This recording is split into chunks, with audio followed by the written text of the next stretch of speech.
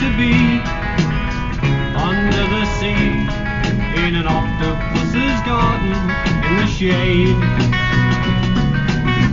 He'd let us in, knows where we've been in his octopus's garden in the shade.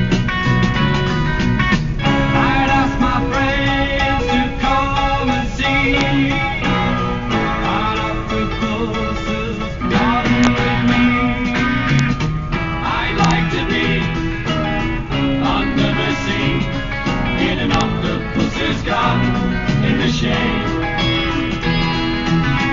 We would be warm below the storm in our little hideaway beneath the waves.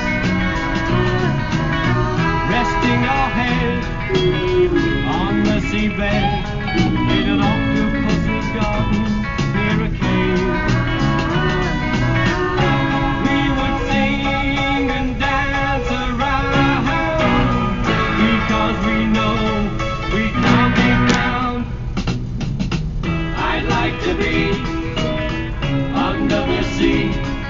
in an octopus's garden in the shade.